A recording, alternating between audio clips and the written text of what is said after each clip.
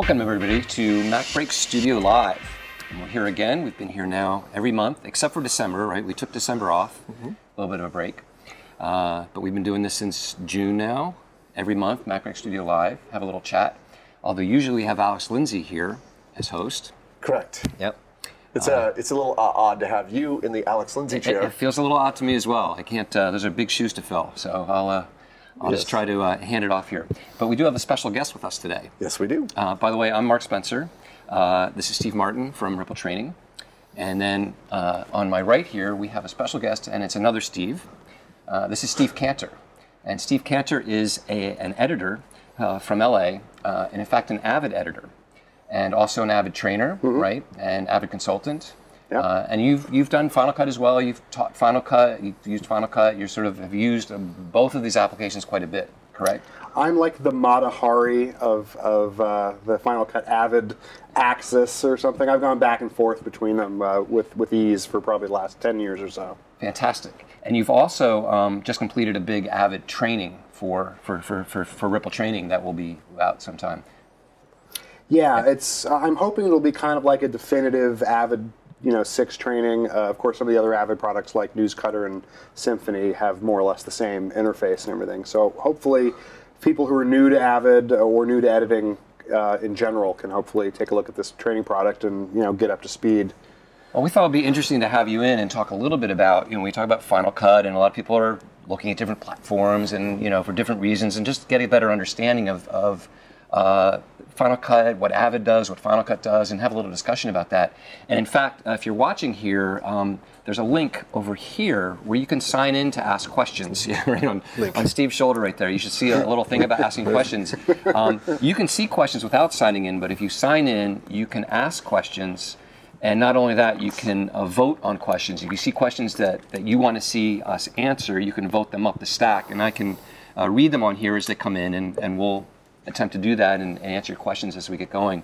So you do need to sign in. If you've never done it before, you need to just fill in an email address and a username and password. And by the way, I just discovered that the user password it has to be eight characters and you need like a number in there. So just know that ahead of time and, and you'll be great. So um, uh, maybe I'd ask you a little bit to open things up, but talk a little bit about kind of what, because you've, you've got some exposure to Avid and you've heard a lot of things and, mm-hmm. you know, we're kind of curious about, uh, you know, we should be exposed to all these different editing platforms to understand their pluses and minuses and what kind of environments they should be used in. Well, let me just state for the record that uh, I've never edited one single thing on the Avid Media Composer. I, I used it once way back in like the 90s when it was, uh, uh, they, had, they, had, like a, I don't know, a consumer version of it. Do you remember what it was called? Uh, Express DV yeah. and then Express, I think DV Pro or. Yeah, that's that's the last experience I've had with it. So I mean, all my experience has been Final Cut, and what I thought would be great is to uh, to have you on the show to talk a little bit about uh, well, what are some of the key things that uh, Avid editors like about the Avid? I mean, you're talking to pretty much a, an, an, Avid newbie. I mean, I've seen your training and it's and it's and it's amazing, obviously, because you know you're a good writer, a good author, but. Uh, from again, from Thank a strict, from a strictly editorial standpoint, I don't know what it is about that platform that like avid editors love? Is it the trimming? What is it that just makes it that people rave about? Well, I mean, obviously, I can't speak for, for all editors, but I think that, you know, given that Avid's kind of been entrenched in the industry from the beginning, it started off really primarily, I think, as a, a film editing uh, tool and then became more and more, uh, you know, uh, entrenched in the television industry. Uh, my personal opinion is that the most important um, benefit of Avid over other NLEs, uh, and that's non-linear editing platform, for those of you uh, not used to the abbreviation, is the trimming. Um, the real-time trimming tools in Avid, I think, are really second to none. And what real-time trimming means for the editor is you're able to make the decisions that you need to make about where shots should begin or end using your instincts. You're able to play, and when your gut tells you that is where the shot ends, you're able to make those decisions in real time. And I think there's an argument to be made for uh, making the decisions editorially uh, using the same kinds of visceral human emotions that you want your audience to experience when they're watching. And so I think that means while the video is in motion. I see. So, as, as a Final Cut Pro editor, well, you, you being a Final Cut mm-hmm. Pro editor and an Avid editor, what just what is like one main thing that really kind of uh, delineates the two? You said trimming, Mm-hmm. but what in particular? Because I, I've never really felt limited in what I could do with Final Cut 7, and even Final Cut Pro 10 to a certain certain extent. So, Yeah. what is it that I'm missing? And I think that's really kind of what a large a large part of our audience would want to know. Well, you know what it is, and, and I don't know if there's something I should maybe uh, show right here on the uh, on the screen Oh, here. look, there's the Avid. on There's the Avid. So this is you're on just to distinguish because there's multiple different um, pieces of software that Avid sells. This is Avid Media Composer, and this is version. This is version six. Let me Six, a- a, basic primer, if you will, on on how Avid works. Uh, this interface that you're looking at is more or less identical to all of the different flavors of Avid, but essentially you have Media Composer, uh, Symphony, which is basically Media Composer with a little bit better higher end color correction tools. It's a more of a finishing uh, or online editor. Uh, and then you have, uh, you know, some of the uh, news cutter and, and some of the PC variants uh, that are used in, in news editing room environments. But they all pretty much look like this, and the tools are almost identical. So uh, I think just saying Avid software in general. Uh, and as far as what the numbers are, you know, Avid 6 is the new version. News Cutter, you just add 4 to any Avid Media Composer number, and you get the News Cutter version.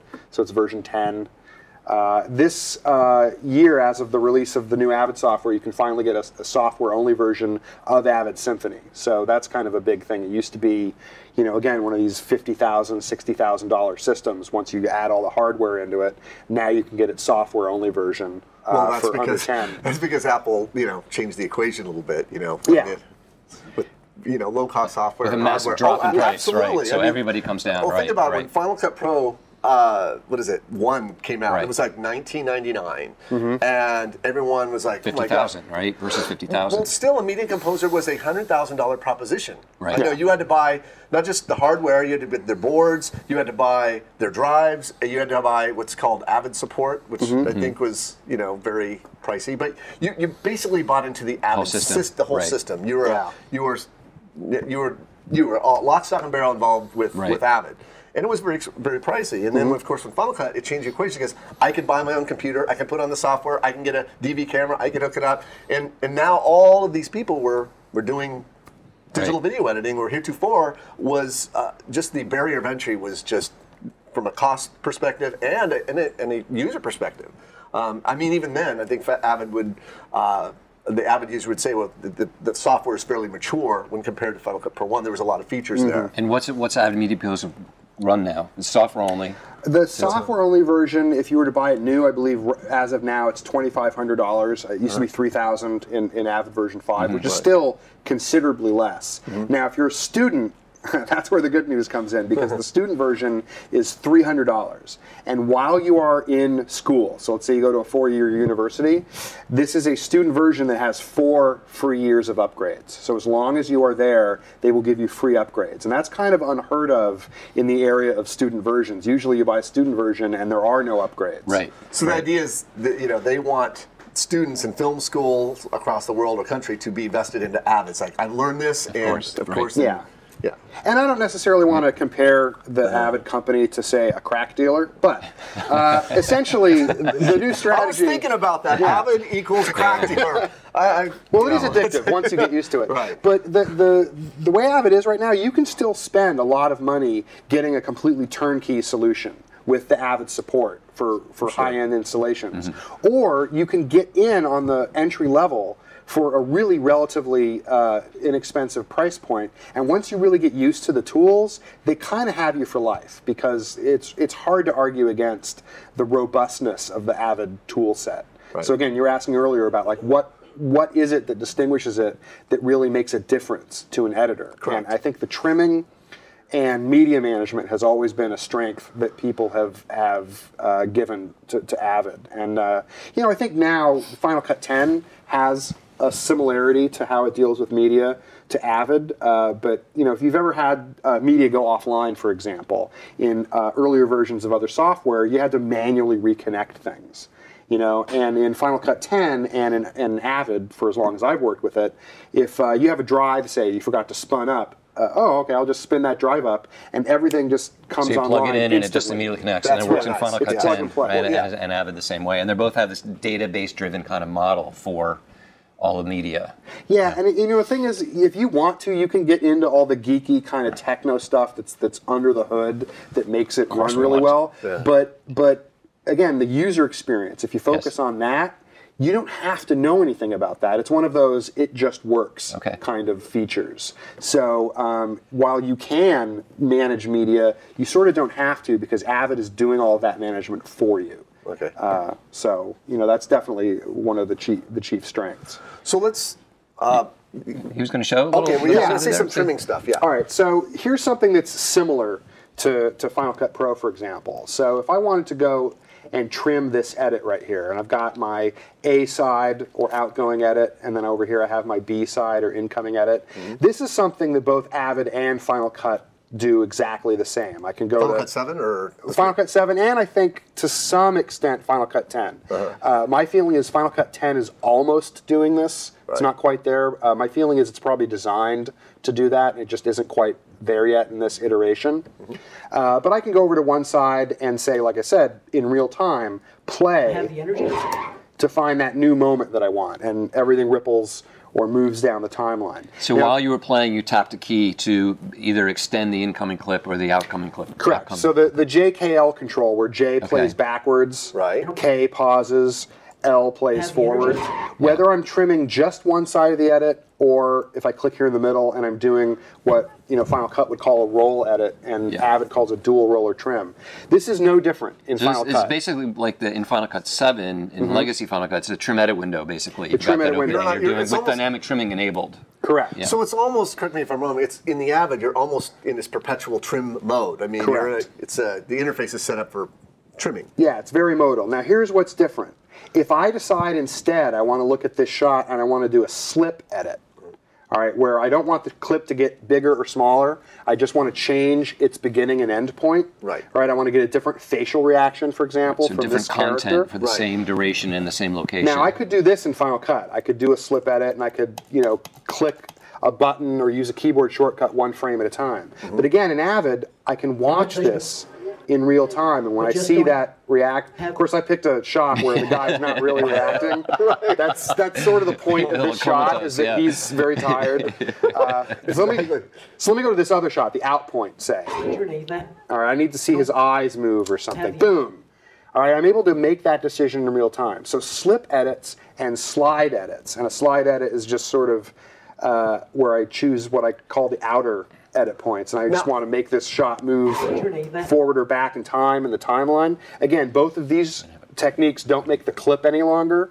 Right. Uh, these can be done in real time in Avid, and especially if you are cutting narrative, if you are dealing with a dialogue scene, scripted TV or movies, where people are uh, often, you know, saying the same lines in multiple takes, and you have to find the point to switch from one person's line to another person's line. You have to find really the, the best place visually and the best place and orally uh, to, to make that trim or that cut being able to do it in real time, I really think is indispensable. Um, no less an authority than Walter Murch, uh, when I saw him doing a Final Cut demonstration at NAB one year, insisted that all edits must be made in real time. Well, he I don't go that far. I don't think they hmm. have to be, but if well, he you want them the, to mag- be, you know, the magic frame. Well, or in the the, in, the- magic in the Yeah. blink, in the blink of an eye, right? Correct. In his little book of blink of an eye, that he just feels when that when he should hit Well, he'd that. actually go farther than that in the book. He says, I, I write down the time codes, and there's something mystical about if I hit that same frame every single time. just That- repeat it, that that's it. cosmically, that's where the edit should be. Yes.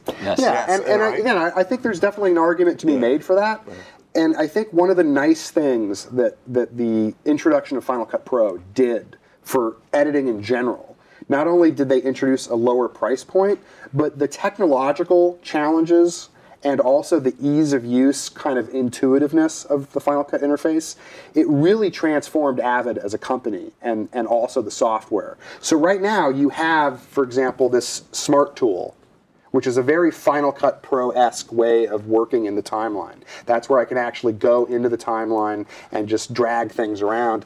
It is so edit. intuitive for some people, Yeah. and other people like trim mode. So really the way I look at, at Avid as a tool right now is you're not going to use every single feature that it has, but you're going to find the ones that work for you, that allow you to make the creative decisions you want to make, and ignore the rest of them. Yeah. All right. So bottom line, I guess if, if I had to make an overall point about it, is that as an editor, I don't really care that much about the technology. I'm a creative person. I want to make decisions, and I want to make the decisions that are best for the ultimate product that Which I'm trying story- to put out. the out. story the you're trying story to- I'm trying to tell. And if the technology gets in the way, that's a problem. If the technology gets out of the way, you know, the analogy of driving a car, I don't want to focus on the stick shift and the speedometer and the rear view mirror. I want to look at the road. I don't want to get to the destination I'm going to without having to think about everything that's around me. And that's what I think most NLEs No, no, really should do. I, I know that the question's there, but to, to his point, Yes. I think that's what a lot of the people were. The people were. were Working in Final Cut 7, they were kind of upset about when Final Cut 10 is, it now forced them to rethink about how they would approach. So that speed that they had in Final Cut 7 mm-hmm. now have to learn this Ramp new interface. So, so right, so there is something to be said for I'm really fast at working this way, and then now I've got this new interface I've learned, so I have to, in a, in a sense, you know, start from the ground up. So I think that. But at the end of the day, if you can be faster than you were before, there's something to be said for that. Sure. But it's interesting because Avid really seems to be built around, um, you know, the, the needs of the narrative film editor and the ones who are doing uh, narrative scripted work where there's multiple takes and that kind of thing. That it's really, really targeted and works really well for that. Good point. Um, so a couple questions are coming in, and by the way, um, if you want to ask a question, you can sign in to the left right there. If you uh, haven't done it, you need to s- put an email address in, and then you can uh, ask questions and you can vote questions up the list here. So I've got a question here from Alex uh, Gollner, and I believe that's the Alex 4D guy, which is a really uh, does some great stuff for motion on the web there. But he's, his question is about the title tool. He says, back in 2006, the Media Composer titling tool had a 20th century feel, like Boris and FCP. How, how has the titling tools evolved since then in, in Avid Media Composer? All right. Well, actually, that's a good question. If you look right here uh, in the tools pull-down menu, uh, the option here, title tool application, now it says application. It's a, So- it launches a separate app. It, it launches a separate app. Uh, now, of course, I'm, I'm being a little uh, facetious here. Whoa, Uh, once whoa, you stop, stop. There was 2 I'll, options. I'll go back there. I'm going to show that. But if you're at all familiar with the Avid title tool, this has not changed. This, if it had a 20th century feel before, it still has a 20th century feel. It is a separate application, uh, but for most basic kinds of titles that you need to do, this is plenty good enough. Now, the other option you saw there when I chose Tools Title Tool Application is another separate app that ships with Avid called Marquee. All right. Now, incidentally, if I check this box for persist, whatever choice I make right now will persist for the rest of my session. For all eternity. No, just while the Avid's Okay, launched right now. When I close, when I shut down the app and restart it, I'll have to make this choice, Choice again. Now, Persist. Marquee, I like persist. all right. So Marquee definitely has boy, a much yeah, more yeah. modern Wow. feel. That's their title Well, well, that looks like Boris, though. It looks a lot like uh, it looks a lot like Boris. Yeah, it does, and it, and it has some very sophisticated stuff in it. Yeah. And and again, if you need it and you want it, there's the tool for you. If you don't want this kind of sophistication, Avid has left in the basic title tool. So Are, are you able to do this in the context of the video, or that you have to get out of this to actually see the tool, the text over the video? Because there's Um, you know, no, it's I black have- right there. no, so you, I- it's not something you use. I have really. so little experience with Marquee, I have to admit. I think I can probably get a, a reference frame in here. Uh, let me show this example with the basic title tool, though. Um, the, sorry, the basic title tool. Let's try that one more time. Okay, got to close Marquee first. Um, basically, you don't have real-time video like you might in, say, Final Cut Pro, but you'll get a reference Yeah. frame. Right. I do now, like this is a new feature, actually, I think, because I don't think I've been able to do this before. But in the title tool, here's my reference frame, or if I want to compose over black, I just hit this V button down here. Oh, so now, video. V for video, Okay. exactly. Now here, if this isn't the frame I wanted as a reference, I Yeah. can go to the timeline and choose a different frame, and when I come again. back here, it oh. updates. Okay. So I think cool. that's new. I don't Yeah. remember doing that years I, ago. I do like in Final Cut Pro 10 where you actually just are doing it directly on the viewer, on the shot. You're just you're adjusting your text, you know, in not any separate window. Yeah, you're right there. Mm-hmm. And if you add a title, uh, you probably don't need to do that Probably one. not Yeah, that yeah, one. yeah, Let's probably just not do that one, but something. just- uh, Yeah, I mean that'd be fine. Then you, You, can just skim, you just skim over it. yeah, Yeah, drop that in the timeline, Yeah. and there Yeah. there the text is, and you can start. Mm-hmm. You need to select it in the timeline first. Oh yeah, sorry. Yeah. And then you can start editing it right there. So, um, but I had another question that was right on topic with the whole idea of the dynamic trimming. Uh, it's called Trim as You Go in Cut Pro 10. And this is actually a really good point because in Cut Pro 10, you can do something very similar to an almost, but not quite dynamic trimming, right? Because you can option left bracket and option right bracket to, to, to do that, trim heads or tails while the playhead is playing. Well, you're you talking about Final Cut 7 or 10? No, 10 in Final Cut 10. If you if you're playing and you hit option Oh, right oh, bracket, it'll, yeah. it'll it'll trim. To the play it, and I, I think, uh, it, yeah, right. Avid, I guess the Avid parlance would be tops and tails. Is that what they call it? Where you Yeah, okay, it's top you and tail command. Yeah, so yeah. Do you want to take over? And, No, no, it's okay. You can you know tops and tails, but here you're actually right now. And you don't a- even need to be in the precision don't, editor yeah, you don't have to be that. the precision editor. So, But if I wanted to do it in real time, wouldn't I have to? Uh, or maybe not. No, I think you can be outside the precision eder- editor and just press play and then Okay. hit. Um, yeah, you can double click out of that thing. I'm trying. I forget where I'm supposed to double just click. press escape. Okay. Escape. All right. Okay. Now, yeah. Now you hit. And don't even- I don't think you need to even select a clip, just option play. right bracket to trim or option. Okay. Sorry for picking here. I used to be a lot better at Final Cut 10 than, than I have Just before I did all this training. Hit the space bar to play and then tap um, option and right black bracket. I Where think I did did something you wrong. go? Wow. I don't oh, you know. know what he did? He, he used the keyboard shortcut to go back in your timeline history. Oh, I see. Oh. That's what you did. Yeah. Uh, oh, option, not command. Okay. Yeah. Go, yeah. Go. So hit the right arrow there, right there. Yeah, beautiful. now yeah. select the clip. Okay. Okay. Option right bracket. There. Yeah. See? Okay. Option So right while you were playing, it Yeah. trimmed to, to trim to the playhead. So that's so. How is that different from dynamic trimming that we're looking at in in uh, Media Composer? Okay, that, that is a good question. Um, again, first of all, I, I want to make it really clear. This is, uh, I think, an important thing for editors to consider. Yeah. I, I definitely don't pick a horse in, in, in the argument between different uh, nonlinear editing tools.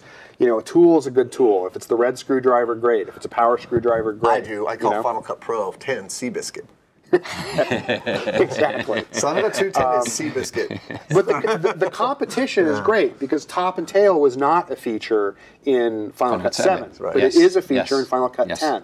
Sure. The Smart Tool didn't exist in earlier versions of Avid. Now it does. So these, Yeah, these- pushing each other. it's yeah. it's best for us. Yeah, it you is. know. I also call Final Cut Pro 10 Secretariat. I'm sorry. and it's, it's really good. It's good to understand with all these NLEs, with Premiere, Sure, with Media. Composer, with Final Cut. What what are the different components? What can mm-hmm. you really do? Because there's so much noise about what's possible, and it's good to like cut in and let's look at specific examples. Like, yes, you can do a version of dynamic trimming in Final Cut Pro 10, and but here's how you can do even more in Media Composer. although that what he just showed with the uh, uh, option right bracket, that really wasn't dynamic trimming. All that No. was is just moving the playhead to the play, uh, moving the the edit point to the playhead, and. It, that, that's really what it was. When, you, when he, what he was showing us earlier was he was, and it was kind of nice. He was uh, using the JKL now, and as soon as he hit K, boom, the edit point happened. Right. You can't really do that in Final Cut you- 10. well, Well, actually, if I can, this is something. As soon as Final Cut 10, 10 came out, I started trying to do this because uh, because I said it was the number one and most important feature to me. Sure. So, for example, if I'm going to go and do a single-sided trim, Right. on this side of the edit, and I hit L to play, Right. You know, now again, what I'm playing right now didn't exist in the sequence. It was in the handle. It was Right. in the unused Media portion handle, of the right. media. Now, top and tail is something that works with the media that's in media, the sequence. All right, so that's one difference. I'm not seeing or, or having access to that extra media. you have to go to the precision editor there, or you just you can't be playing while that's happening. You Mm-hmm. Now, if I playing. do this correctly, this is what I started trying to do. Uh, I'm playing backwards here. right. All right. Uh, remind me what the extend. okay, what's the extend well, edit it's- X for it's Shift? X. X. Shift X. Shift Shift X. X. So All right, so here's my edit point. Right. Here's the handle. Right. All right, now I'm going to play into the handle and hit Shift X. X. There you go. Okay, that is what I'm looking for Yeah. in in real time trimming. Right.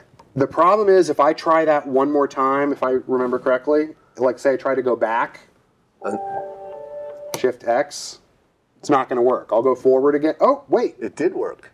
Oh, maybe they fixed this in. It's uh, called um, patience from. Uh, what is it? Uh, fruit from the tree of patience. Sorry. Okay. I'm being All right. philosophical. But this goes to But, the but point. you really I want to be able to Yeah, loop, yeah. I would loop like through to- that want- as it you wanna goes. be You want to keep looping going over the through. top Yeah, yeah. Here's the thing. So this is what in and this out is points. 10.0.2. Okay, Yeah. I have not been on two yet, so this is it.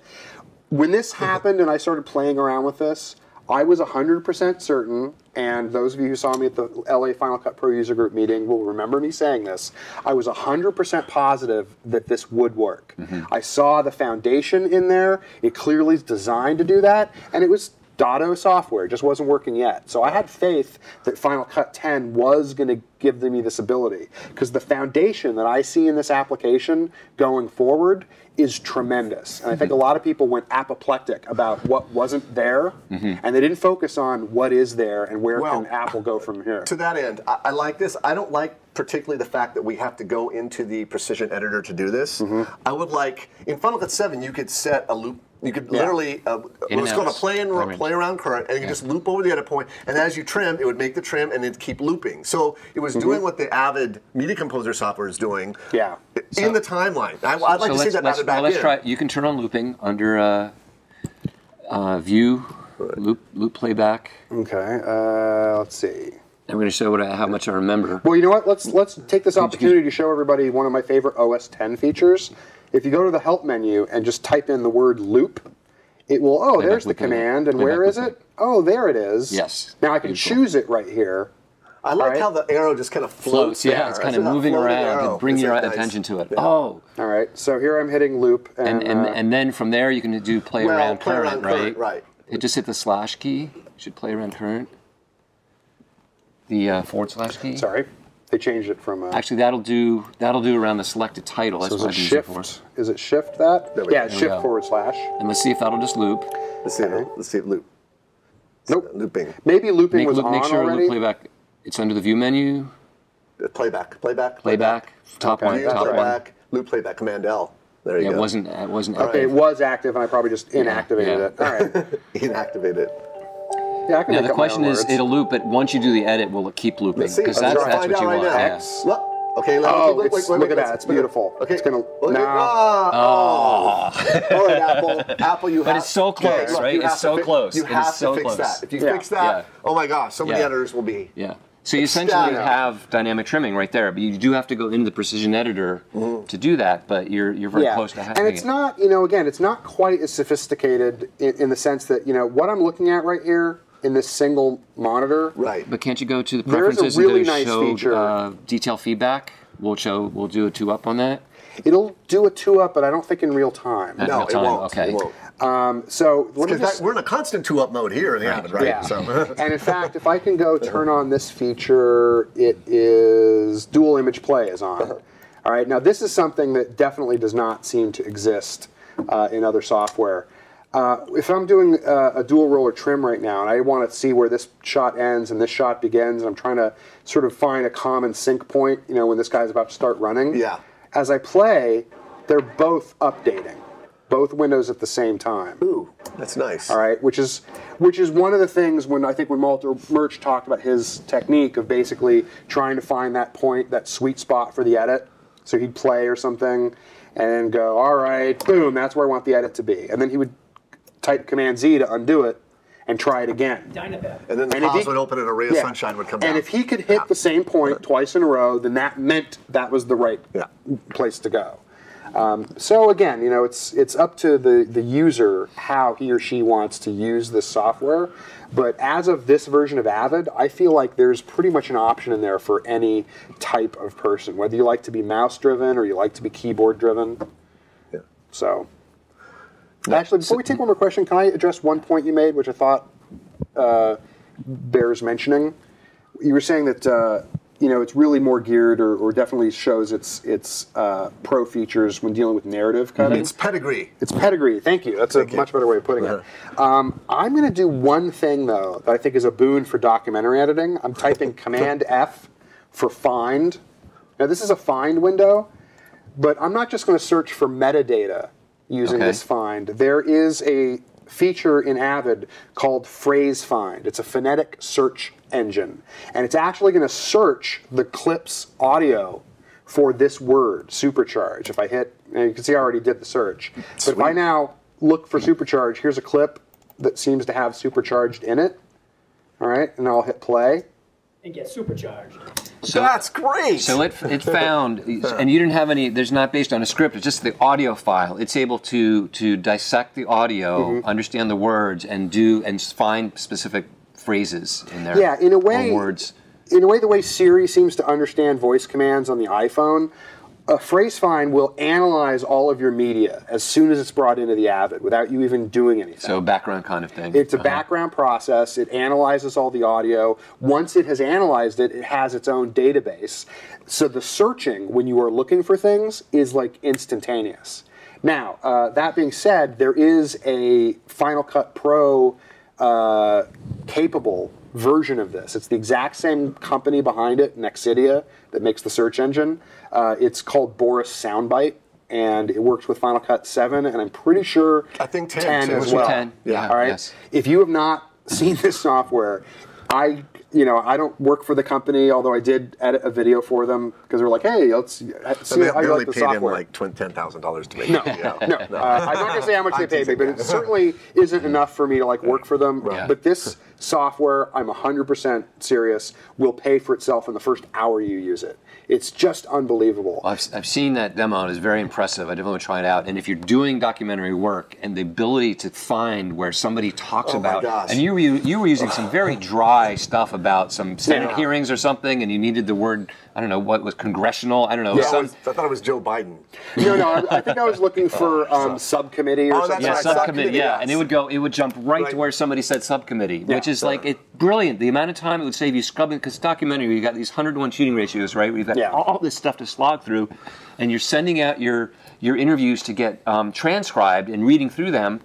You, to some extent, you can bypass a lot of that because you Yeah. can say jump to where he's talking about scandal or what, Yeah. whatever it is. I mean, you could. What I was doing the other day uh, was literally going through a text script and highlighting text in the script, Right. copying it, pasting it into the Boris soundbite window, and then finding that instantly. Now, the way Boris soundbite works is once it finds the moment you're looking for, you can literally send a marker to Final Cut Pro, and it marks it for you. So, you know, basically, I don't see much of a difference functionally between Phrase Find in Avid and Boris Soundbite. They're both amazing tools.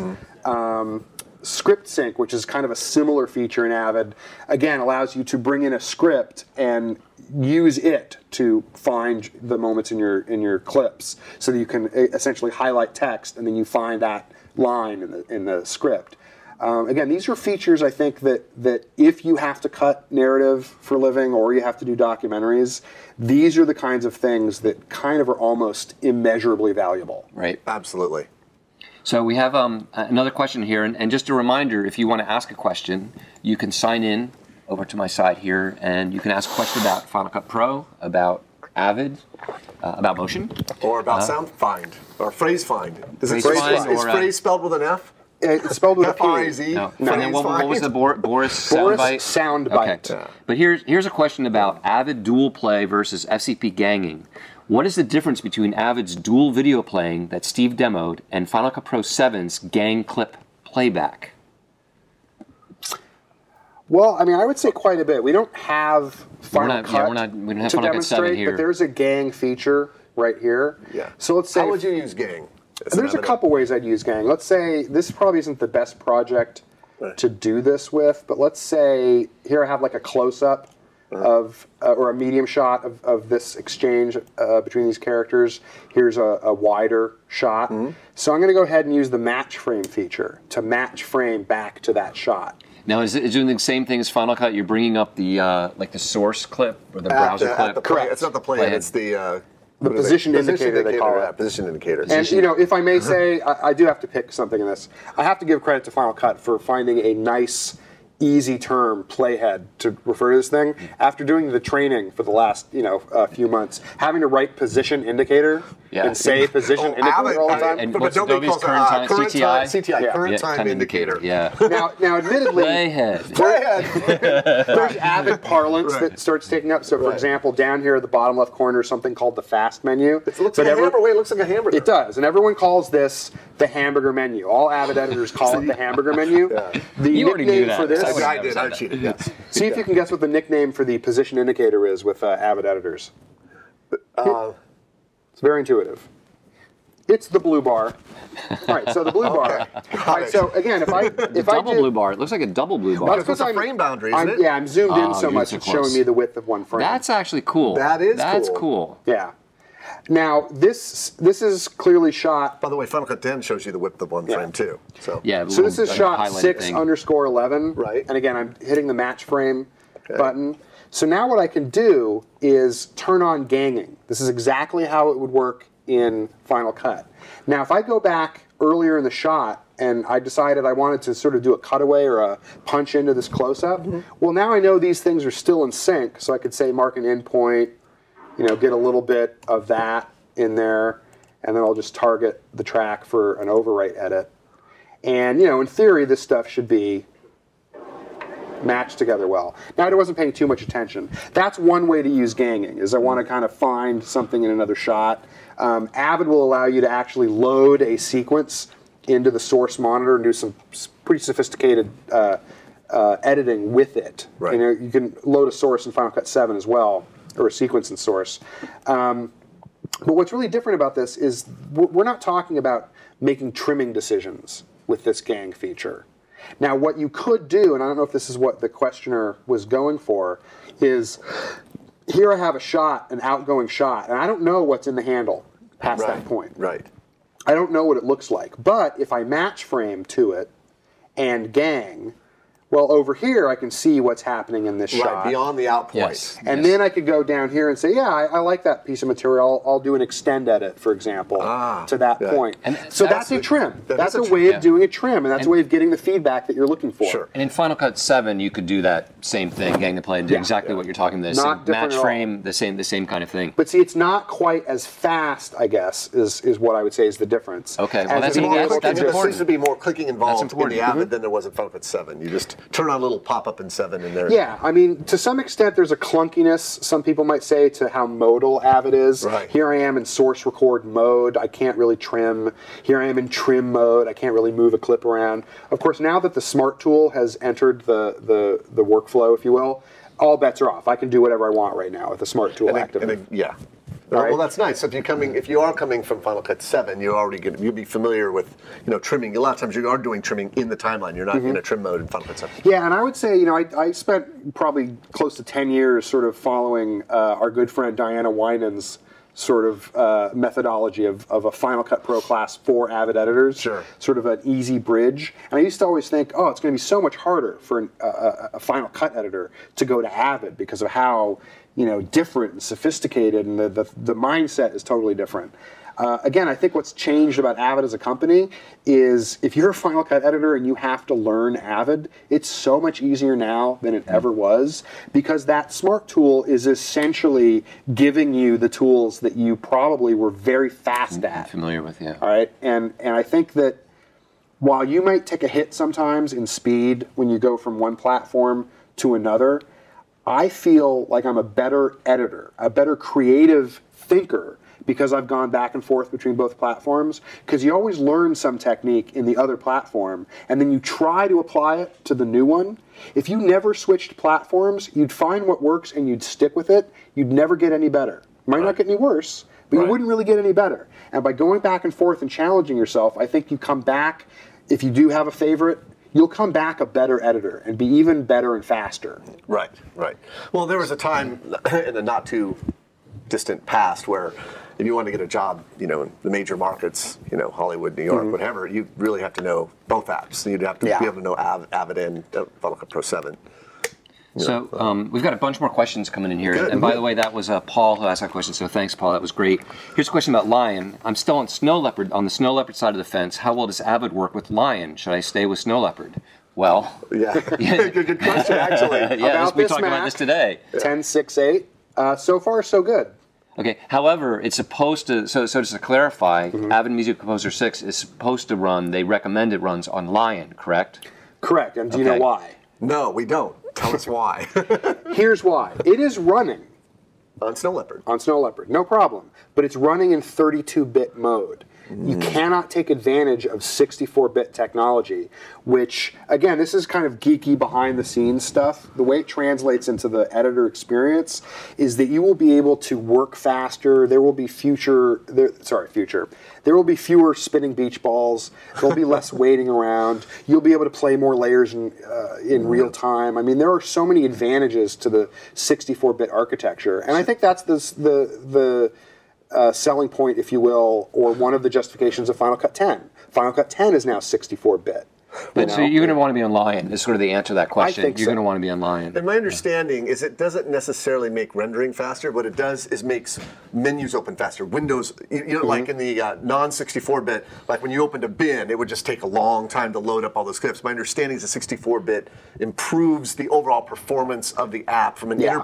from an interface standard, but not necessarily render. Again, No, not rendering. Okay. But but as, as a practical example, again, going back to the example of trying to make a decision in real time, Right. whether it's trimming or anything else, if there's any latency in the system based on too many bins being open, memory being full, or something But hasn't that. that been typically a problem though? I mean, when the, the Avid's projects get these balloon out inside, they, things get slower. I think it's a problem with. I mean, I've had that problem in Final Cut and Avid. They they they approach dealing with memory a little bit uh, differently. Um, the uh, again, without getting too geeky, the Final Cut project was always one file, and all of your bins and all of your sequences and all I of wonder- everything. And, it- and sometimes it could get just massive. All of a sudden, it's 50 or 100 megs. Just, Yeah. It would Oh, yeah. just get It- huge. it And there was no, you know, you could Take throw away some open, stuff. right? Yeah. But when that project got big, it stayed big. Avid, each bin, each one of these bins is its own file. So to some extent, when your, you know, quote unquote project got bloated, you'd just close bins and you'd be able to kind of compartmentalize what's in the memory or what's not. I if. I go over here to this sequence menu, I only have one sequence loaded right Sure. now. Uh, over here, I have all these clips loaded. Right. Just choosing clear menu. All right, now there's no things in the menu. Now just freed up some RAM. That's a clear. That's like a clear out your RAM. Yeah, there's even a thing over here. Sorry, not right there. Uh, info. All right, clear bin memory. Nice. I mean, there's a there's a couple of very nice little high end features that are they're hiding What is- out wait, wait, in the what was- Avid. what was that? This is showing me all the drive capacity full on they are, my yeah. system. Oh, that's sweet. That's So I can So you don't have to jump to the stuff. finder to figure that Yeah. out. Yeah. Yeah, so you know, again, the, the the point I was trying to make is that if I can get rid of the latency and I can make a decision, when I hit K to pause, it pauses on that frame. If it doesn't, then I'm not a happy camper. Of course, not. Right. Right. You know? It's got to be frame precise that way. And I had an experience uh, consulting on a show uh, where some Avid editors had to work with Final Cut Pro, and there was an editor who was so fast coming from Avid that he was like breaking Final Cut. I'd never seen anyone work that fast. And one of his big complaints was, I'm hitting K, and it it's three frames later that it stops. Oh. Big deal, three frames. Well, when you're deal. when Look, you're an okay. editor Now- on a daytime talk show and you've got deadlines and you are used to pausing I know. and pauses. whole- in the commercial editing, whole fist fights would break out in, in edit bays over two frames. Yeah, Fist fights. you know. The copy editor, and I'd, oh, it was ugly. Just I that I'd have a producer go that literally would be able to tell. He'd walk out of the room, and I just mess with him. I'd take off two frames or one frame. He'd walk and watch it. Go something's wrong. So, that edit. Oh, you, uh, take, sure, you took off yeah. two sure, frames. sure. They would just know. Sure.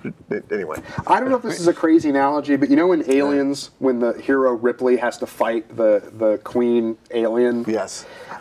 there's one sort of penultimate scene where she's trying to rescue the little girl, and she's really lean. She's got like her vest of grenades and her gun, but she's able to dart in and out of uh, you know The narrow eggs and hallways and stuff yeah. like that and get around. Okay. In her final battle with the queen, she's encased in this big, huge loader kind of robot exoskeleton. Yep. Yeah. She can't move as fast. Now, some might say, look at the tools that she has. Look how outfitted. She's bad, you know, she's very bad, you know what, right? Well, she's loaded down. She's heavy. She can't quite move as fast. So there's something to be said, right? That's- You got a that whole was bunch of tools. That's a brilliant analogy. Yeah. Whoa, whoa. you know, uh, sorry, we Listen, were tell you what, talking that's about my fault. bloated, bloated apps. Yeah. The idea that there's just so much loading into the RAM. There's so many features. You can't get something really basic done that you want to do because editing, when it comes down to it, for me, is mark in, mark out, rinse, repeat. You know, I have to do that all the time. yeah, yeah. exactly. Oh, I have to change my in and out. That's Right. what editing is. Right. Mm-hmm. Everything else is gravy. You make it sound so glamorous.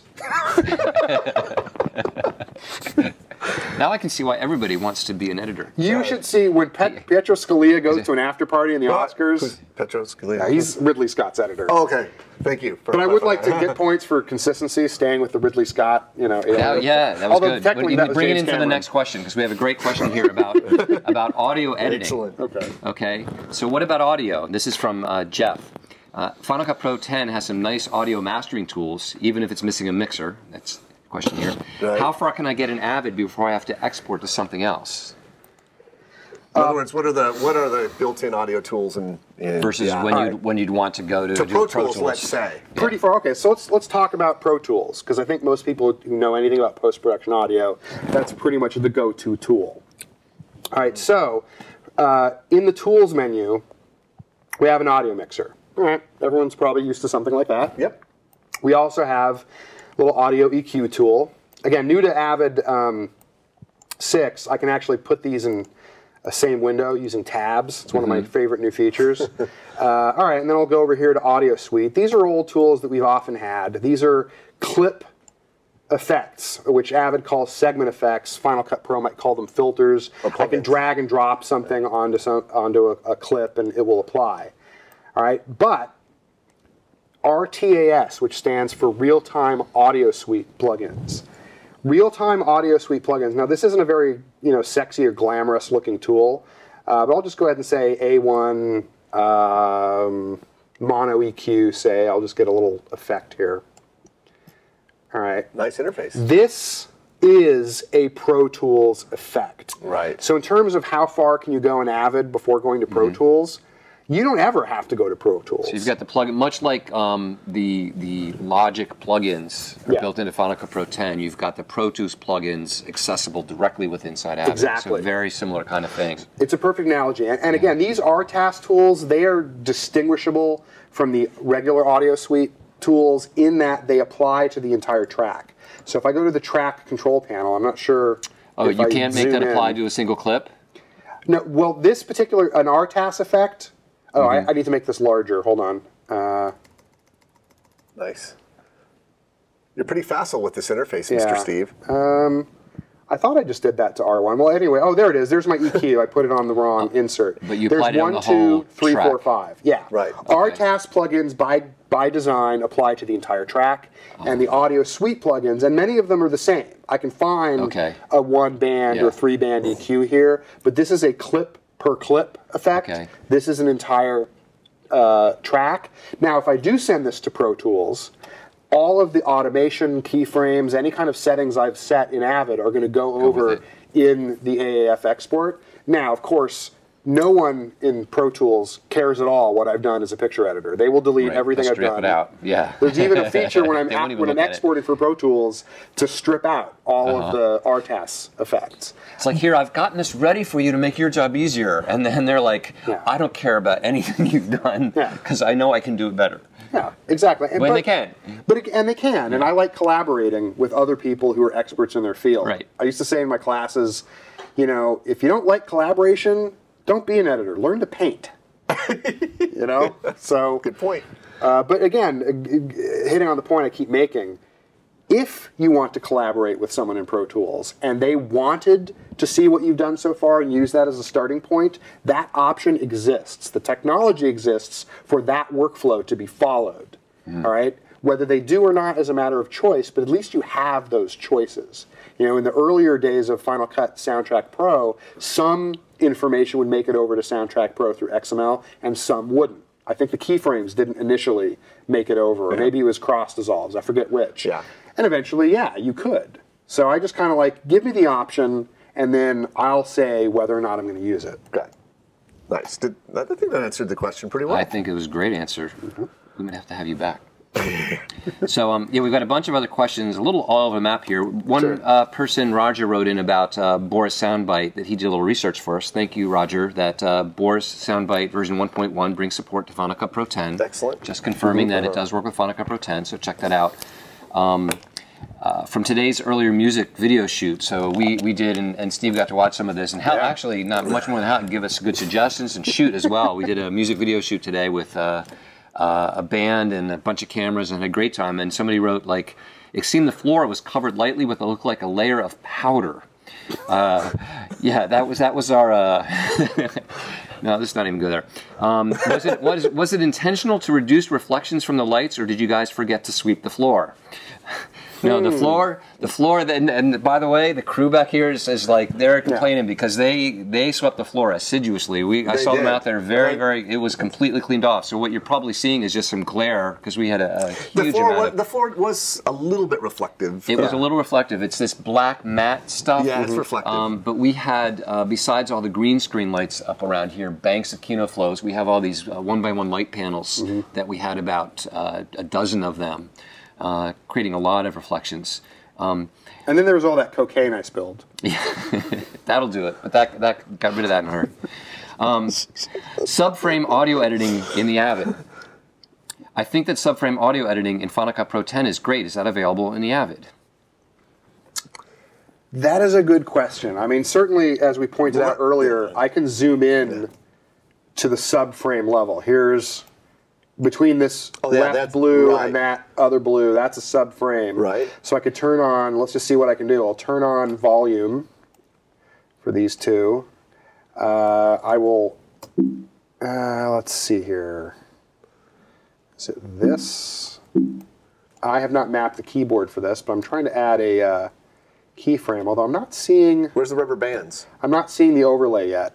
Uh, I did volume. Let's see, is this There you go. So there's your there's your well, let me just rem- let me just remind myself of uh, where the keyboard button is for keyframe. Yeah, that's the one I thought it was. It's right there. So I was hitting that key, but it was not adding the key frame. Let me zoom out a tiny bit and try that again. Oh, I know what I'm doing. I'm sorry. I'm trying to do it on too many tracks. Exactly. That's probably it. There we go. Go. Okay. All right, so there's an audio keyframe. Now I'm going to move forward a frame. There's an audio keyframe. So the question is, even if I zoom in, Can can, you- I add an audio keyframe in there? It might restrict you to frame I, boundaries. yeah, I have to kind of give an advantage to uh, Well, Final see- Cut. or or or slipping. Can you slip?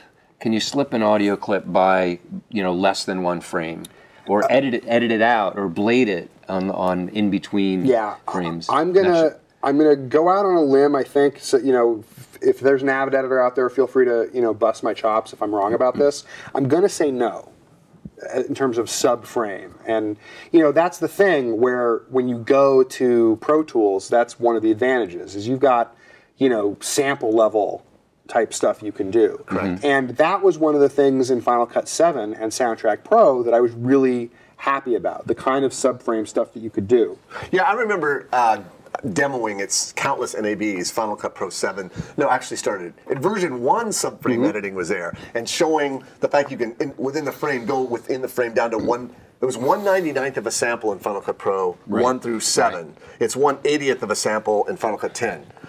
It just is. Of a So, second. not a you- one, not a, a sample, second, a, second, a second. Second, second. But, but the point but do is, you miss those other twenty um, samples? I just look at it as like little sli- It slices up slice. that front Yeah, frame, yeah. and it really. It, I think it does make it.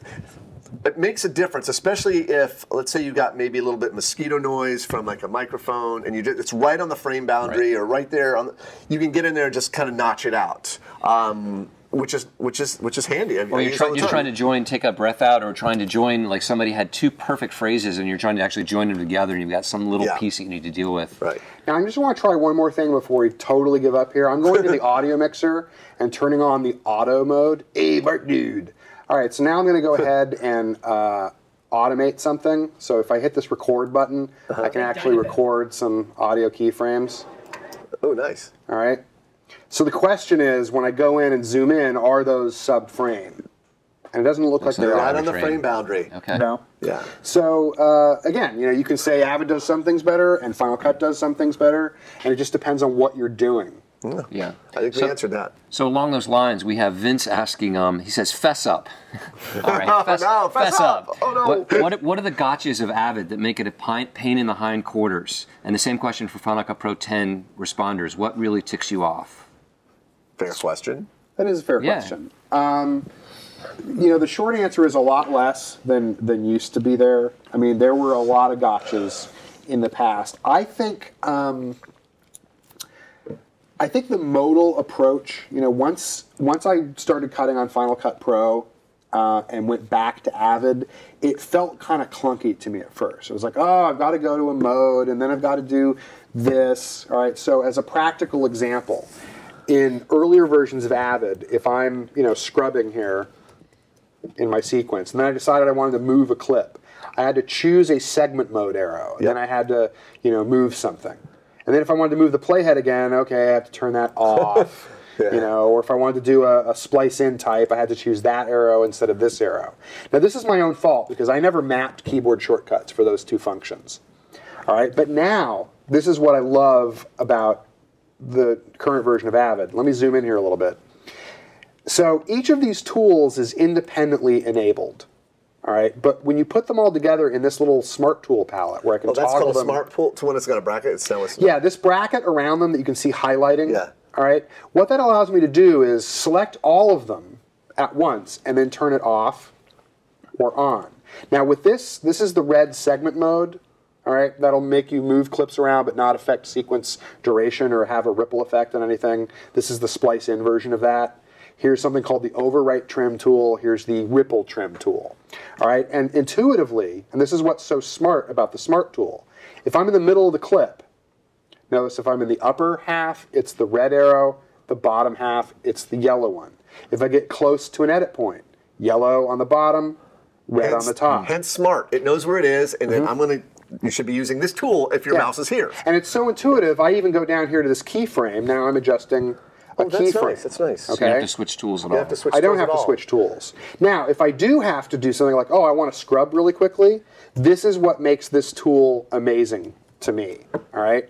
Shift tab, which is the shortcut that I never mapped, that's mapped by default in Avid, turns the whole tool off. So now I don't have to deal with any Now you're back into that modal. Yeah, I can be modal if I want to, and the preferences exist. You know, Avid is is nothing if not listening to user hmm. feedback now. So if I go to, here's a nice feature. I could go look for the timeline settings here in the settings Right. window, but if I just type Command plus while the timeline is the active window, it opens up the timeline settings. Right. If the composer is the active window, it opens up composer settings. So I just have to learn one keyboard shortcut for active window settings. All right, so this is what I find kind of funny is that, look, if you want to only use one segment tool at a time, this checkbox is the disable smart tool checkbox. If you want to work in a traditional Avid mode, you just check that box. So that's like I'm uncomfortable with new things. Should let me do it the old way. Exactly. Yeah, which is which I don't want to learn anything new. To give it to me the way I'm used to. Which eh, fair, you know, when you've got a job to get done, Mm-hmm. it's nice to be able to like turn it the way you want it. Like let me learn on my own time. Yeah. You know, like when this project is done, so I can get up to speed on this new thing. So the next one I'll be faster at. It's kind of like some of those cars that have this sort of hybrid automatic and manual transmission where you can shift and do an automatic transmission, but you move the gear shift over a tiny bit and you can shift up or down yourself. Um, I've never seen that. It's a cool it's a cool little feature. It's not really manual shifting, but Oh. if you're a manual shifter, then you could do that. Yeah. You know, and in a pinch, if you were in the snow and you needed it, and that was the one time you really needed to control and lock down that transmission, you could do that. right. Well, now should we go to the final? Well, I've got side? yeah. there's Okay. there's a couple. I want to get to those. There's a couple interesting questions, but just in the context of the Avid right now, then I think we'll, we'll jump into the, a couple of these other questions that are really interesting. Uh, keying in the Avid. So this is uh, Mikey who says the new keyer in Final Cut Pro 10 is really amazing, which I totally agree. agree, yeah. Uh, how does the keyer in Avid work? All right. Well, you, you, you have some green. I Screen do have some green screen stuff. So here is, and I think I rendered this. So let's just watch this just for a second. Supercharged energy micro. Oh, I probably should monitor the higher track so that uh, we can actually see these effects. okay. the world's first supercharged energy micro shot. Now the guy flipping around. Okay. I can't believe you pulled This that guy key. here. I, I, I'm, I'm sorry. Pre- Yeah. I know that footage, and the, the green screen was a was horrible. I mean, I mean, you could see Guinness. Like, Yeah. Anyway, So Familiar- this is very familiar too. This is, and, and actually, Mark, this is something I think you'll be able to speak to, uh, being a, a motion expert. The key that I'm using here, oh, this is my AniMatte. Sorry, let me step in a little bit and go to the other key. All right, so this is what's known as the Spectra Mat effect. And it allows you to pull a key by sort of, uh, you know, choosing a spectrum and and Interesting. being able to, you know, What's, I that should green, probably. what's that green blob there? So that that's the actual what's being keyed. So it's sort of Oh, I like see. Yeah, that's the a, range this is a color there. space, and he's oh. he's carving out a chunk of that color space. That's actually Yeah. In really to pull a helpful feedback. yeah, yeah. so let me try to get rid of that it's and like start in the, from the scratch. color maybe. application. You can see that in 3D space, that little 3D kind of thing. Yeah. All right, so here's my green screen. So I'll see how well What a horrible.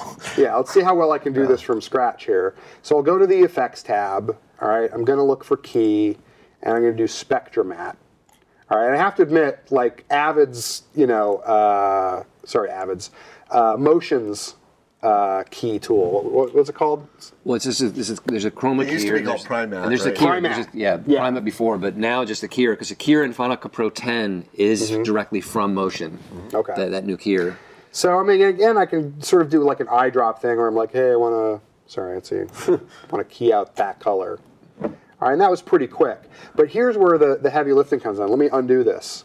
So you've got this color spectrum and you're trying to figure out what to key out. This is kind of intuitive. This black area is what is being keyed. You have to choose the color where this should be keyed. And I've never been one for using these kinds of controls because I didn't think I understood how to do it that way. I like to be able to point and click with an eyedropper or something. Right. Uh, but now I can go ahead and go into key color. And let's say I start, you know, tweaking this a little bit. Look what's happening to that black area as I move these controls around. All right, it's actually moving that around. So I can go say, look, I want green. I want more green, you know, less red. All right. So I, I tend to do things with keys where I start with a broad stroke, a really quick eyedropper click, but then I have to tweak it a little bit. Um, there's some real beauty to this, and you can see how that's like a feathered edge, if Yeah. you will, between the gradient and the, the black area. So again, when we start playing with controls like tolerance, all right, and uh, softness, you really get an amazing amount of feedback here that helps you set up the key here. So I think this is a, a great tool. Uh, probably I'm a little faster and easier. I like the real-time ability Sure. in Motion or probably Final Cut 10. I haven't tried it in Final Cut 10, but where you can play a loop and just look at that matte and kind right. of play and with it. Play with it at, in real time as you're That's, looking at that- it. that is- that's that's- really the money because I got the key working at this frame, but now I got to start looking at other frames and seeing if I need to, you know, keyframe. Are you able with Media Composer to do real-time playback of multiple HD streams while you're while you're editing? And what does it have that kind of same thing that you can do in Final Cut 10? Yeah, yeah. In fact, this little green dot is an indication in the effect icon that Yeah. this is a real-time effect. Um, and uh, right now, um, if I go into the effect palette, I, I probably can't find an effect in here that doesn't have a Wow. green dot. Is It's that like- all the effects play to that one? This is all the. I mean, I'm just going through this whole Yeah. palette of effects. I think the only one in here I can think of is in time warp, reverse motion, which I mm-hmm. wouldn't think that would be the hardest thing in the world to do in real mm-hmm. time. But apparently, that's the one thing in the in the hmm. basic palette. Everything else is kind of real time. Now you start stacking layers, you're going to eventually, you know, run into some performance issues. But um, what it, I, what it lacks, I think, is using this example of the key, where in motion, which is what I'm familiar with, I could set a loop and then just play with that sort of matte density and Right. be able to see, you know, there's my white areas, there's my black, mm-hmm. there's little pixels creeping into the white area, and I can just keep playing with that in real time. I don't think Avid quite plays as smoothly in real mm-hmm. time doing a loop. But there is a play loop feature in the effect editor. When you're doing audio effects, there's a play loop feature. I mean, it definitely has that capability. Uh, I just have to say, you know, in, in some cases, motion happens to be, you know, better at that particular type of, uh, you know, operation. Here's a Paul says uh, the the Final Cut Pro 10 skimmer, love it or hate it. People are very passionate about the skimmer. Skimmer, what's your reaction? And I'll just I'll just throw in that I, I feel like the skimmer is back exactly like Final Cut. skimmer. Oh, the, the skimmer in Final Cut Pro 10. What he's referring to is by default, if you move the mouse around, right, that that playhead's going to move with it no matter what. There you go. It's just escape. Yeah, this is yeah. So let's just show people what what he means by that. Well, skimming is is uh, again you have this little line you can you can move through. I personally, like you, I love it. I love the fact that uh, I don't using Final Cut Pro 10. I, I don't even I hardly ever use JK and L Well, well, but here's here's what I was Yeah. going to say about that. I, I love it and I hate it. I, I feel like the skimmer is exactly like snapping. Yeah. When you really want snapping, it's great. When you don't, you, you know, it gets completely away. But you just tap the N key to turn it on and off. And the skimmer's the same way. Well, you you just can't- you can't tap turn the keyboard. I know you can just tap the keyboard shortcut Yeah. S to turn it on Yeah, and off. if it bothers, bothers you, Right. just you know. so there's certain S. times that it's super useful where you want to immediately get to something, but if you don't like it, just tap S and Mm-hmm. turn it off. And of course, it, it works in the timeline. It works on anything up in your event browser, Right. as well.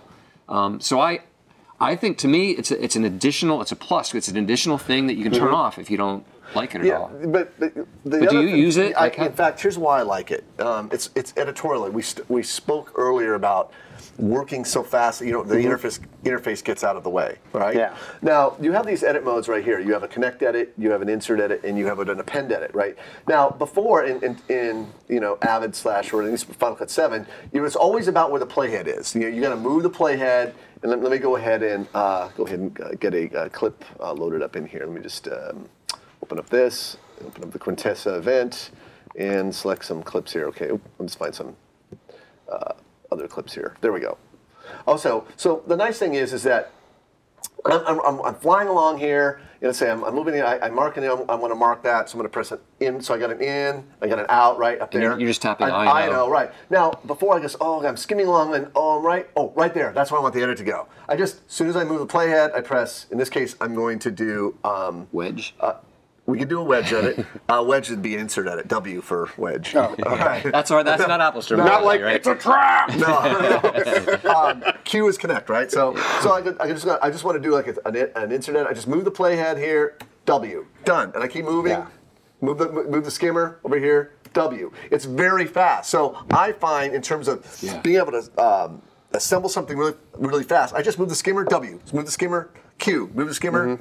W. Move the skimmer. Right. You know, and then Right. D for override, uh, which is by the way, there's no override here button here. You have to, but if you know the keyboard shortcuts, uh, there they are. And the beauty of these commands here is that they all work with the skimmer, wherever the skimmer Yes. is, and that's in terms of speed. I, I love that about Final Cut Pro 10. So, Awesome. Yeah. I I have to kind of agree. I mean, it's it's uh, there's even a, a, a program we use to create our training Right. uh, called ScreenFlow. Yes. it has a couple of uh, sort of editorial pluses over even the most sophisticated. I agree. You know, Does, I agree. I really yeah. agree. Folks could learn the, the, Like, like the three A's could learn from Oh God! Listen. screenflow. Okay. Well, yeah. Let's talk about that for a minute. Because going back to the question earlier, what do you not like? What do you wish was there? Yeah. I wish you could set. I'm going to go ahead and set in and out point here, right? And Mm-hmm. then move the skimmer. There's a, an in and out. Actually, do it in. Move the playhead over here and then out. Oh, you're hitting Well, I again. I'm sorry. You're I should take a Final, I should take a Final Cut Pro uh, class. Don't you think? Oh. Okay. So so look.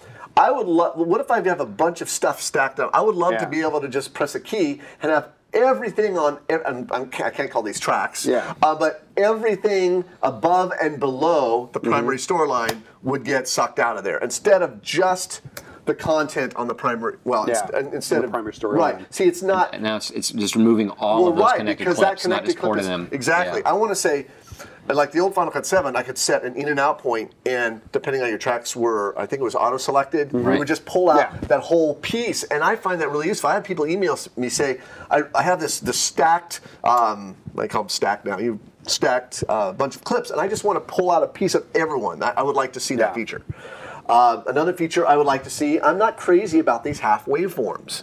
Uh, I like to see. I like to see. I like to be able to open up a full waveform Mm-hmm. editor uh, and do stuff. I mean, you can. Um, we're working on an audio tutorial right now, and one of the things that came up was, okay, well, how can I work on these? I could certainly go into here and I could, you know, make the clip height really big, and I can do this. And I guess, you know, that's nice. I just, I'm so. I like seeing the zero crossing. I like to be able to see the zero crossing. So, in other words, But what what information is in that that you can't get out of Here- here? here's what it is. It has to do with audio editing. They, they have the subclip feature, but it doesn't go far enough for me because a lot of times you're editing on something and you don't have complete silence before the word. Mm-hmm. There's something there. It's like Yeah. There's just something there, and you can't really can see it here. in this view. But if you had if you had a full waveform and you look and you're looking at the zero crossing, you can say, oh, there's there's there's a little bit of noise. There's, there's a little bit Mm-hmm. of audio. At what's supposed to be silent isn't.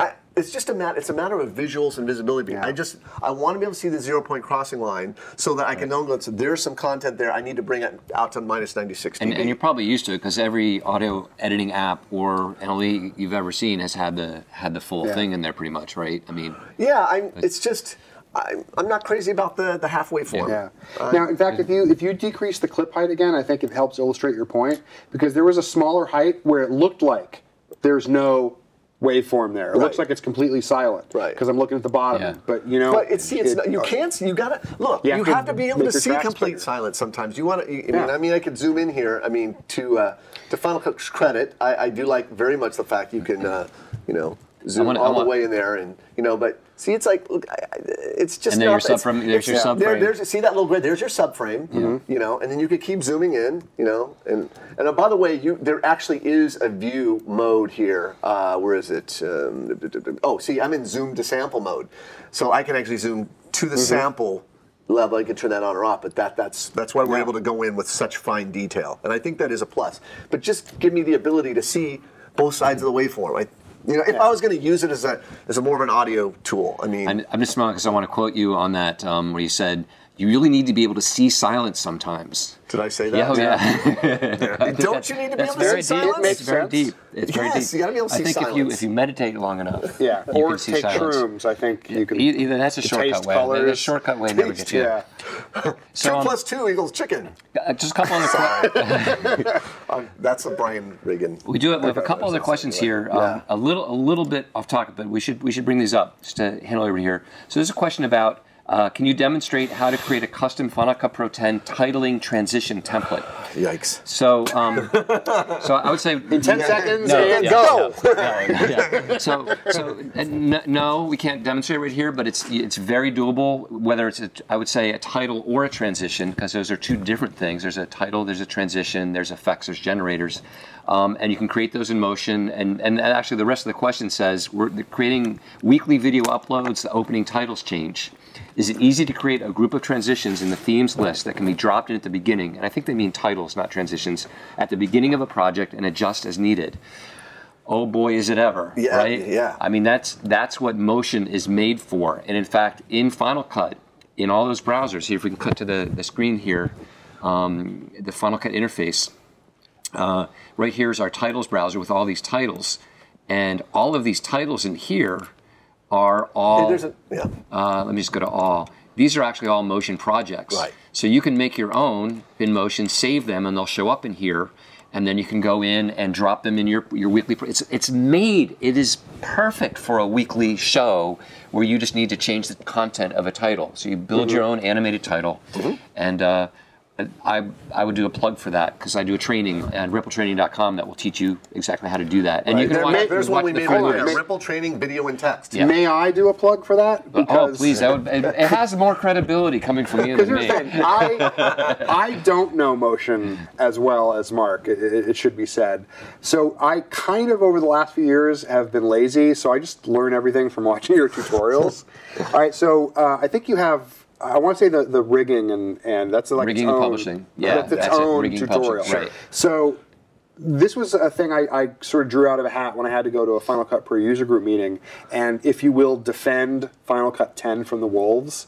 And I had to say, you know, if you haven't seen what motion does with Final Cut 10, then you're not really talking about Final Cut 10 because the, the ability to go beyond what used to be a nice nifty feature of a Motion Master template, Yeah. the idea that you can number one publish only the features you want the Final Cut editor to control. Correct. That's beautiful. It is. The fact that that especially in an environment, I imagine the sharing environment, a networked environment where this really could be a pro tool. The the ability for an editor to call up and just say, "Hey, you know what, Mark? I now need to control a gradient for the text, and I don't have that control. And Mark can say, okay, hold on for a second, and in about a minute and a half, go into the Motion project and publish that that. To the to the template. Okay, thank you, I'm good. All right, that is huge. And so you might have something you need to repeat week after week after week. Okay, that's great. And what's really- but you might need to tweak it a little bit sometimes, and the ability yeah. to get in there and do that is you know. Well, what's really nice about that is if you're working in a, an environment, a corporate environment, or some sort of a media environment where uh, you're a graphic designer and you don't want to give the editor too much control. Yes. You're like, I want to only give them the ability to change the color of the font, but not the font or the position. They can move it around, but they can't change the color. They can't change uh, you know, Logo the palette, colors the or lo- something, yeah. Right, and so in a lot of ways, you're still giving the editor control over like placement re- relative to kind of the frame they're working in. Um, I I think absolutely it is the, the you know the combination motion Final Cut Mm-hmm. is is unique. And again, Yeah. there's uh, the, the- the plug I was trying to make was just the, the Yeah. ease that I felt I, I learned that the way you kind of showed how to do it and sort of step by step get into it.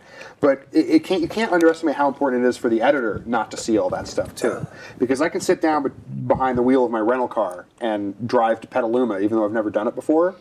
But sometimes getting a new effect in the effect editor in Avid or doing something equivalent, it's like I've sat down behind like uh, you know a jumbo jet Right, control, and there's still a steering wheel, things. And in theory I can blot all that stuff out just with the steering wheel. But I'm like, no, I need Are to. some of these important that I should know about? I need Like, to go just, crawl just show me a the corner need. and shiver for a couple Yeah. minutes. So You're getting some good al- analogies tonight. That's a yeah, good. so it clears away the clutter and lets you just focus on what you need.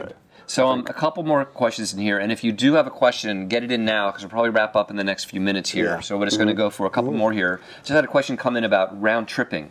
Uh, in Final Cut Pro 7, we had the ability to go to motion with round tripping. With, Correct. With Premiere Pro, you can go to After Effects. Right. What does Avid has that will do that type of work? Will Final Cut Pro 10 ever get that type of workflow?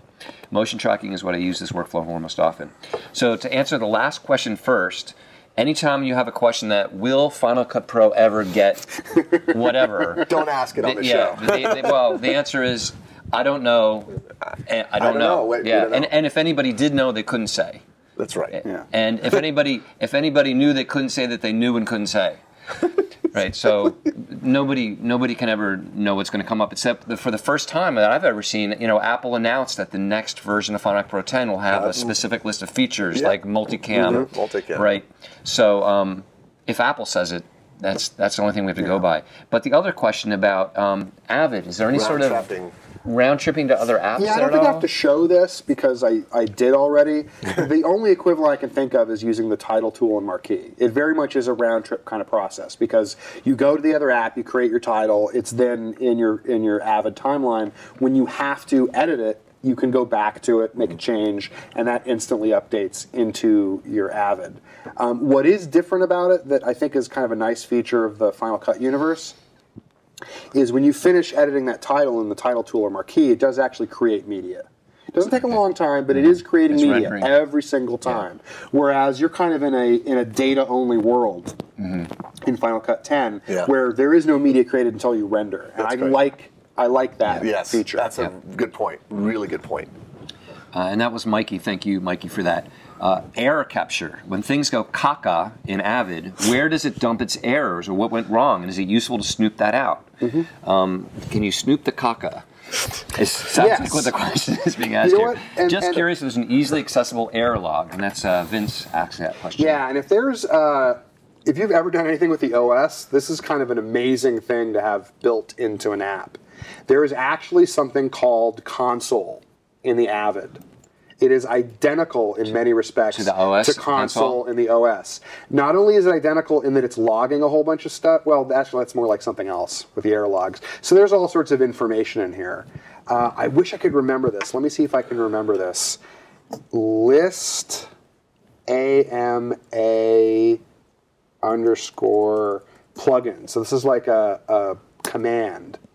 Unknown command. I don't remember. I don't remember the command. I could look this up, but the idea is that it's it's logging errors to an unbelievable detailed degree, and then you can type in certain commands. Um, if we give out, uh, I'd be happy to share this with someone. Um, if you go to my website or my, sorry, my email, which is steve at editdog.net, um, I'll send you the link to something where someone published out, you know, on a on a listserv. Uh, all the console commands in Avid that you can get it to do things. Wow. And that includes things like having it dump some memory and having it do some things and having it change some of the functionality. So It's like Avid's version of the terminal. yeah, that's probably what I meant to say. Is is That's console what it looks is like to terminal. me. Yeah, Yeah, yeah. okay.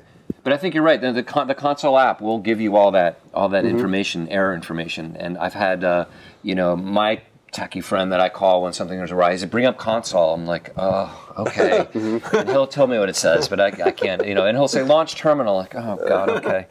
like I'm afraid to quit the terminal because it's. Yeah. But but he walks me through it. So um, Yeah, it's not a good it's not a good name for something because you're talking. People are scared already about mucking around with a. Oh, am I going to kill my computer? Yeah, just open the command called terminal. Yeah, exactly. you know. I mean, there's no grave robber command. Awesome. Um, uh, is, is, is Lion really working with Final Cut Pro 10? Working with Final Cut Pro 10. Remember the problems we were having in your class in August. So what this is a reference to is Steve and I taught a class back in last August, actually right here in the studio, Sure. when uh, Final Cut was on 10.0. Dot O, I Oh, think. yeah, it was, there wasn't yeah, even an brand update new. yet. Brand new. And we had uh, there were a couple of, of issues throughout the day. I think there was two that, that, Mm-hmm. that that happened in Lion and didn't happen in Snow Leopard. Um, those are gone They're- now. yeah, they fi- they've they they those. fixed those. So I would say that um, Cut Pro 10 is ready for Lion. I've been using it on Lion consistently. That's all I use You know, I, on, I made yeah. the switch about a month and a half ago or something, and I, I think it's rock solid on Lion. I think you, the right thing to do is to move to Lion. Mm-hmm. I'm still one thing I'm still seeing. I don't think it's a Lion issue, but there was an issue with the titles becoming reset in 10.0.1 Yeah. where you would open your project and the titles you had typed in were gone. They were Yeah. just replaced with title. Mm-hmm. And that fixed for the most part i usually but i did have it once happen with 10.0.2 and it's like oh no now it's unpredictable. You know we don't know. Right. but for the most part that's fine but i don't think it's a lion issue. So i, I would go and you're lying too right? Yeah, On- yeah, in- That's No, I think that's truthful. yeah. Um, iBooks textbooks from Ripple. Stephen Mark, what do you think of the new iBooks authoring app? Plans to create any textbooks for iPad? It's so funny that, that you the thing we mentioned that. missed That was one of the things. Like when I I read that, I read that on Yeah, my we just, so this is we should back up a minute Yeah. to, to just say what. So today, Apple made an announcement about there were three things, right? They announced um, an updated um, uh, ebook um, Publisher, application yeah. Mm-hmm. publisher, but they, they a new authoring tool, a new authoring tool for authoring ebooks. Yep. Right, that's the big thing. Is it And then- called iWrite? No, no. Okay. no. It's called iBooks Two or I iBooks. forget, I forget what it's called. Yeah. I, I, we just saw. We've been shooting all day, but we just saw that thing and we looked it up, and it was like we both were like, "Oh my god!" Yeah, So, to, right? it, really, it, it- it's to, again, it's this idea of decentralizing Mm-hmm. we that the average person wants to write the American novel can actually do it now, and you could.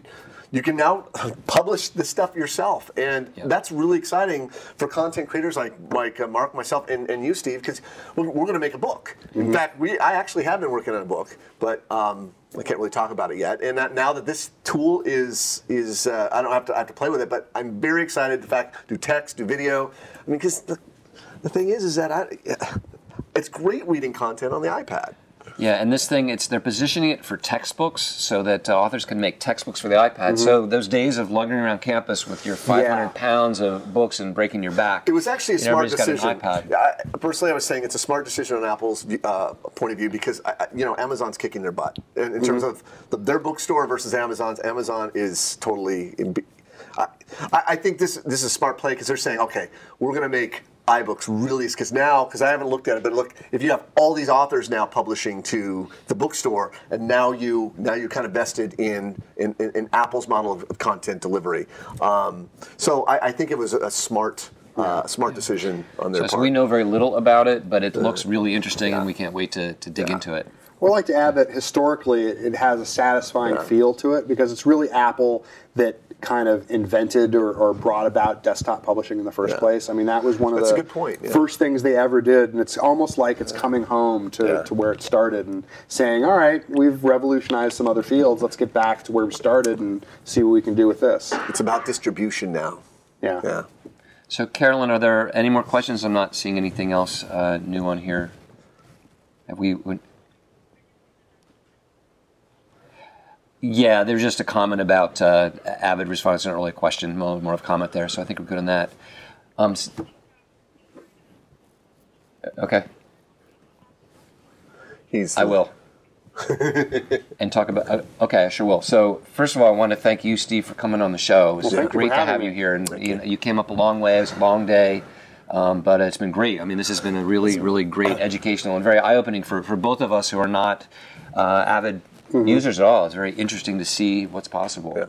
And I do want to give a shout out to the Pixel Corps crew. I mean, Yeah. they've done an amazing job. I mean, we, we, we were here at 8 o'clock. We set up, we did a music video shoot. We, they, they completely struck the set, put this set up, and we were ready to Mm-hmm. go at 6.30. I mean, I, it's pretty impressive. It is, and you can't even tell Yeah. we're actually outdoors right now. So this whole thing is just a facade. It's really amazing. So, um, if people want to contact you, are you comfortable? I think you said your email. Just why don't you say that again? What your contact yeah, information uh, is? both my email address and my uh, website are uh, have editdog.net. And there actually is an edit dog, isn't there? There, well, there actually was. Thank you for bringing up that painful subject. Oh, sorry. Uh, no, it's okay. Uh, yeah, if you go on to uh, www.editdog.net, uh, you'll see my my dog uh, editing on Final Cut. Um, I Or used to- St- Steve at Yeah, editdog.net. or Steve at editdog.net. Okay, great. I used to. I, I thought there should be a cool tagline, which, which was, uh, "I could teach a dog to edit. Why not you?" but uh, you know now. great. But yeah, if you go there again, uh, if you're if you're interested in finding out um, that list of console commands for Avid, uh, you know when we come out with our with our uh, training for for Avid, obviously there'll be questions and stuff generated from that. Right. So, so just to mention again that, that you are com- you have a um, a very comprehensive Avid training coming out on from Ripple Training, uh, imminently, Imminently, yes. Imminently. Hopefully within the month. Okay, Hopefully, with, yes. with, within months Yeah, coming out. Yeah. And then uh, if people want to learn anything more about Final Cut Pro, Motion, RippleTraining.com is the place Yeah. to go. And then we're going to be continuing to produce MacBreak Studio uh, podcast. Yeah, so we do a besides this monthly show, this monthly live show that we generally do the the third Thursday of the month is kind of how it's been working out since last June. Uh, we do this live show, very kind of informal thing. We also do a weekly uh, podcast called Mac, Mac Break. Losing Mac my voice now. Break Studio. Mac Break Studio Mac that you can find on, on iTunes uh, and also on YouTube. And uh, short little five minute to ten minute tutorials, tips, and Sometimes tricks, post production things. Sometimes we go on a bit. Yeah, so check that out, rippletraining.com. Um, uh, Twitter at Ripple Training. If you want to follow Ripple Training, that's where we post information about new products, and we do a lot of free uh, Plugins. effects, plugins that we, we do for Final Cut Pro 10. And I think that's it. Thank you very much for tuning in and watching the show today. Thank you very much for giving us some questions because it's what makes the show Yeah. interesting and have content. Were great questions tonight, good. and it, it really made it uh, great for us. And hopefully, it was useful for you to do that. And hopefully, we'll see you back here in a month. Uh, anything else from anybody? We're we good. do the dating game kiss. No. So uh, thanks for joining us, and uh, I guess we're going to just cut to the after show. But this will be the end of our show. So thank you very much for joining us. Thanks for watching. Good night. Bye, people.